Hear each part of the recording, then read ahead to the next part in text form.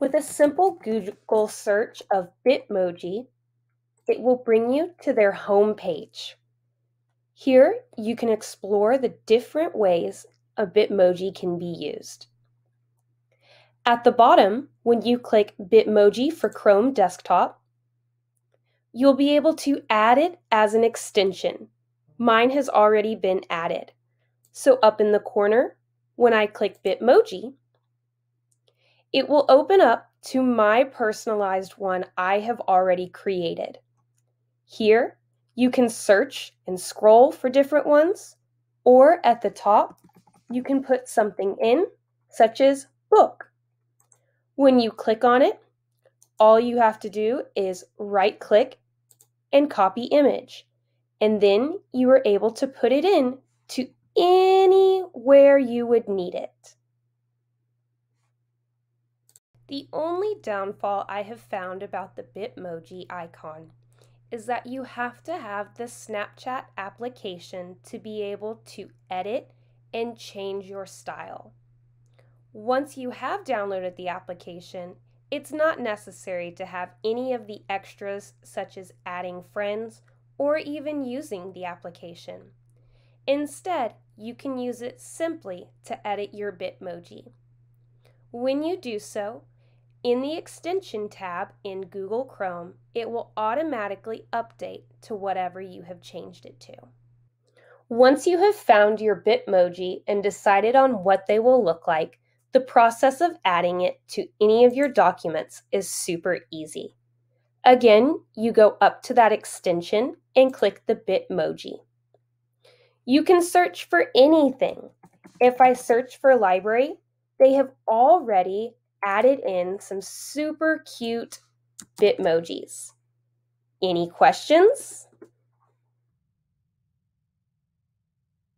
I can search for book and add in anything.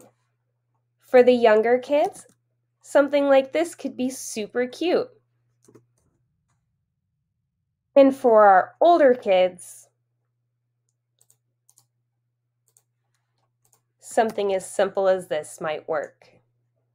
Absolutely love the Bitmoji because not only is it a fun and creative thing for me to do, it gives a fresh face and allows students to really feel like they are interacting with a person.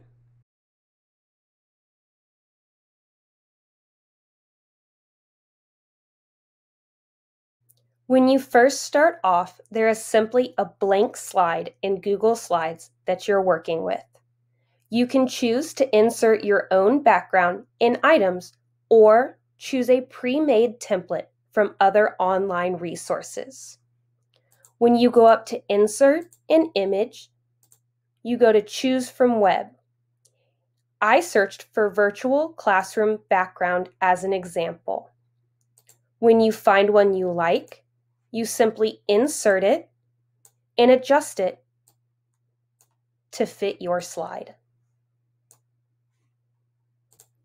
This one in particular already has everything that you would need a screen, chairs, and you could add in other items. For example, if I wanted to add in a laptop,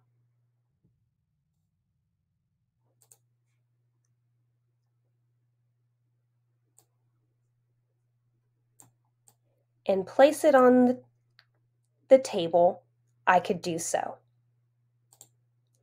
Unfortunately, this doesn't look like it would match very well.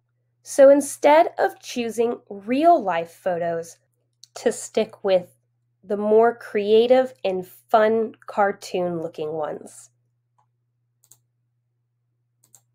Like this. As you can see, Everything in here has been individually added.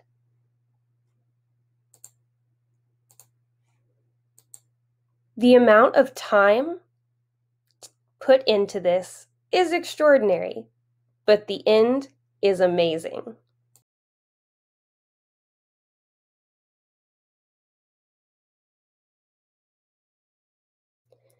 I believe that one of the most important parts of the whole Bitmoji virtual library is that home page. It's going to be the first thing that your kids, parents, and other teachers see. Here you see a smiling face, a welcoming environment, and links from the start. Here I linked my own voice. Welcome to the Kempner High School Virtual Library. When you click here, it takes you to the Kempner High School Library homepage that we showed earlier. And here will take you to the Twitter page. Right now, I'm not in presentation mode, so that's why they're not opening. But the moment I press present, when I click on these, it will open up to a brand new tab. So here's how it'll look. The moment you click the home page, it brings you straight to the original website I showed you. When you go back, it brings you to the Twitter page as well.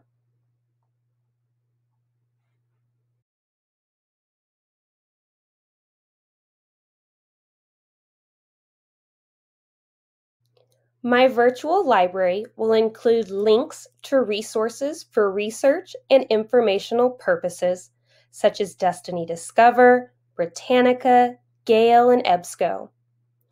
This page has the most frequented resources, but I will also have an option to choose the clipboard, which will open you back up to the home page to give a full list of resources offered by Fort Bend ISD. I think having specific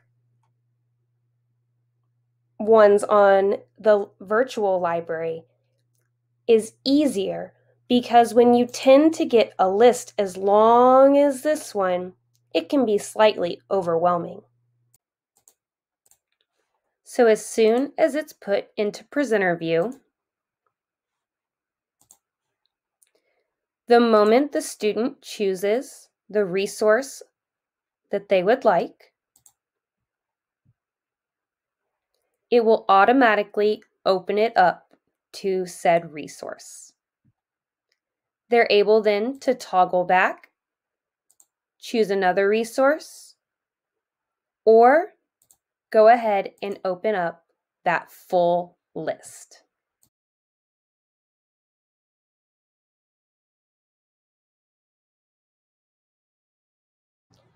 Another page includes a list of genres with links to popular and highly rated Goodreads lists of said genre, ranging in lexile, publication date, diversity, and age group.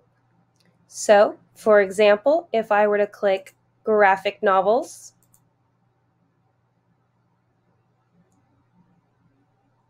it would bring me over to the Goodreads page with over 322 highly ranked graphic novels. This goes for all of the different genres here.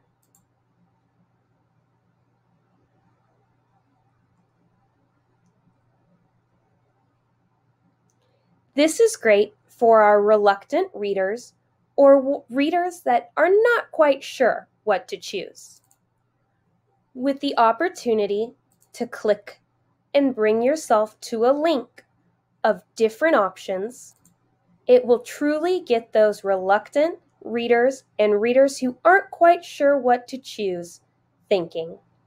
Of course, linking it to Goodreads is not your only option.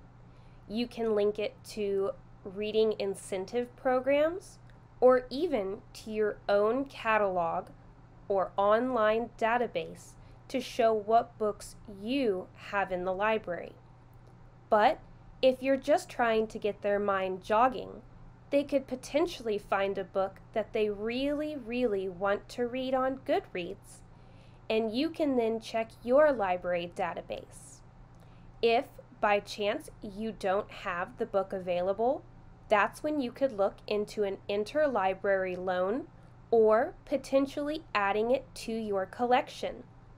If that's not a choice, this would also be an excellent time to link up with one of the community librarians to see if they have the book in their database.